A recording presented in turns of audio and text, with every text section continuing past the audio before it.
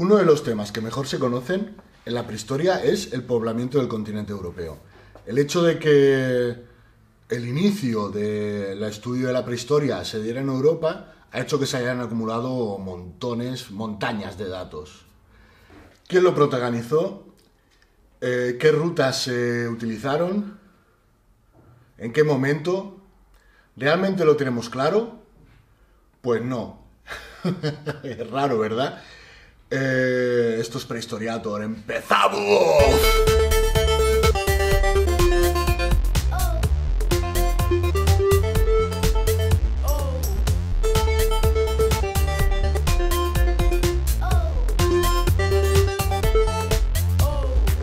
En los años 90 del siglo pasado, eh, las teorías eh, iban encaminadas básicamente por tres sitios.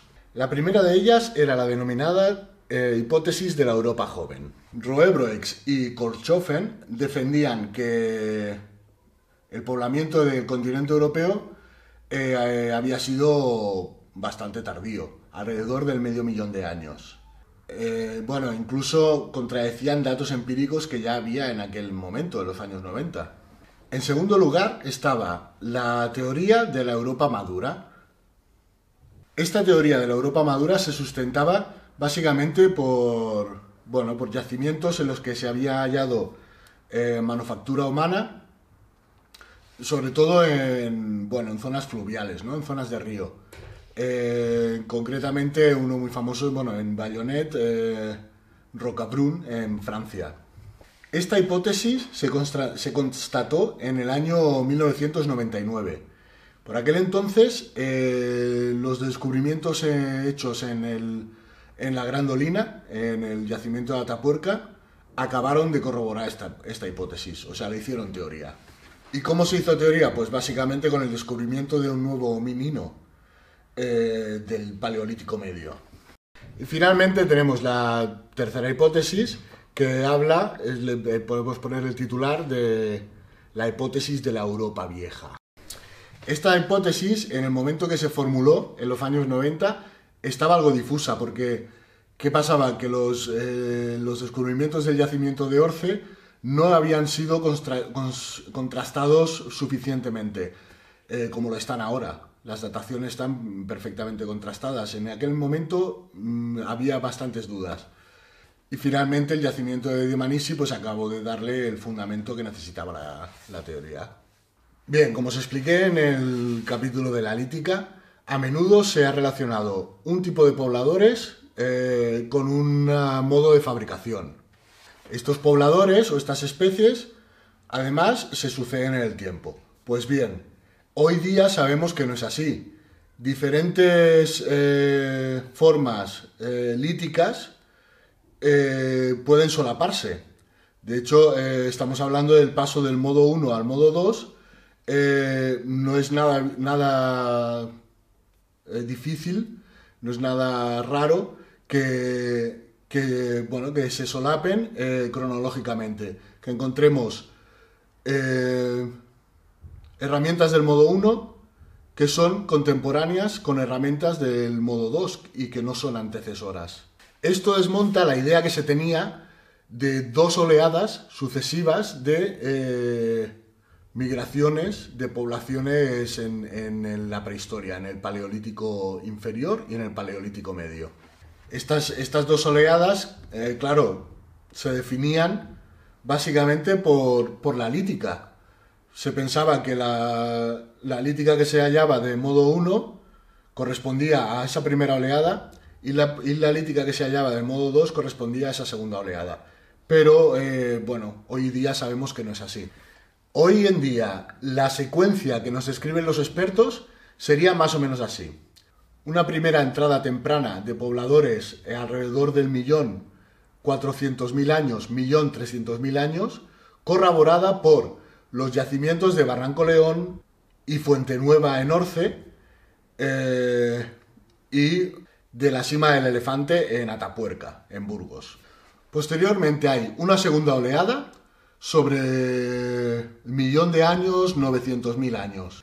Esta segunda oleada está asociada con el yacimiento que os he explicado antes de la Gran Dolina en Atapuerca y eh, además está asociada con una especie de homínino eh, concreto, que es el Homo antecesor. Bien, a estas dos oleadas se las asocia con eh, lítica del modo 1, con, con, con este tipo de lítica que os expliqué ya, más simple y que en principio debía ser eh, la más primitiva, pero bueno, vemos que en, esta segunda oleada, no tan primitiva, también existe este tipo de lítica.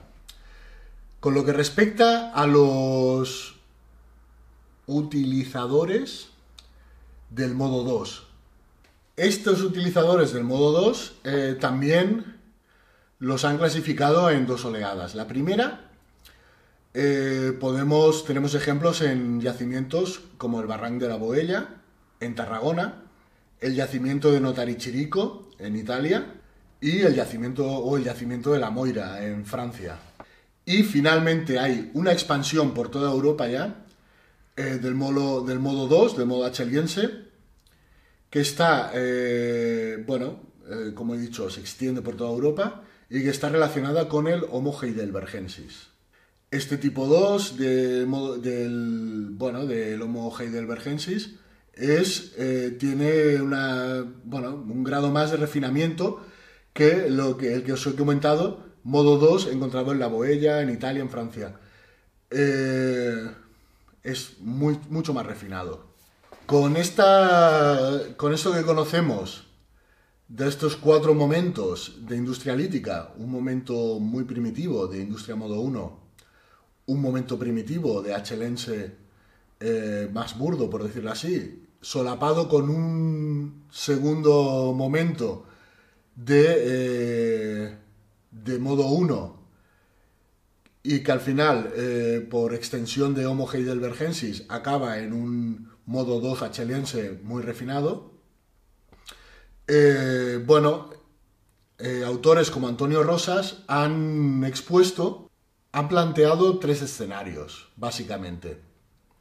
El primero sería un escenario de incursiones de pequeñas poblaciones en el continente europeo. Eh, bueno, eh, incursiones por curiosidad, por en este momento eh, hablamos de, bueno, de seres que tienen un cierto grado de, de encefalización y que como Homo erectus en su momento eh, no solo el cambio climático o el, seguir a sus presas, etcétera, los llevaba a, meterse en nuevos territorios, sino que también tenían cierto grado de curiosidad por su medio. Pero esta sucesión de incursiones en el territorio europeo, por decirlo así, eh, Antonio Rosas eh, cree que no tienen continuidad, no tienen una continuidad. Son pequeñas incursiones, pero que bueno, cuando estos individuos acaban muriendo, pues, en fin, no parece que haya un asentamiento eh, perdurable en el tiempo de estas comunidades. El segundo escenario que se puede plantear, eh, dadas las, los datos empíricos que tenemos y los restos materiales que, que se han hallado, es que, bueno, que sí ha habido una continuidad en el poblamiento europeo desde la primera llegada. Y finalmente lo que propone Antonio Rosas es un tercer escenario en el cual hubo eh, poblamientos discontinuos con hibridaciones entre los sucesivos pobladores.